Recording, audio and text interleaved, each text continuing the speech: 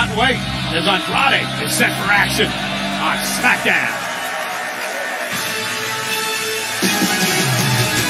Cause I'm the greatest, ain't no hating, I'm the best. You want your shot, well I guess you wait till next year. I'm at the top, get respect while I get fit. Who got a problem, huh? Tell them to step in.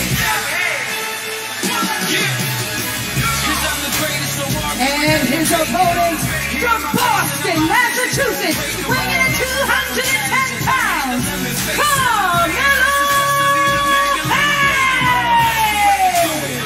number four between these two men. A couple of weeks ago, Carmelo finally got into the win column. Yeah, this was after Andrade picked up the first two victories, but it was a quick one from Carmelo, who revolts every time he gets in that ring. However, after the match, the celebrations from Carmelo Hayes are a little too in your face for Andrade, who got a little fed up with Melo's antics. Snap! A brawl ensued, and now there is still some lingering ill sentiment between these two superstars. But what's the problem between these two guys, mate? Well, there was no problem until Carmelo lost two matches. Oh, and then wasted little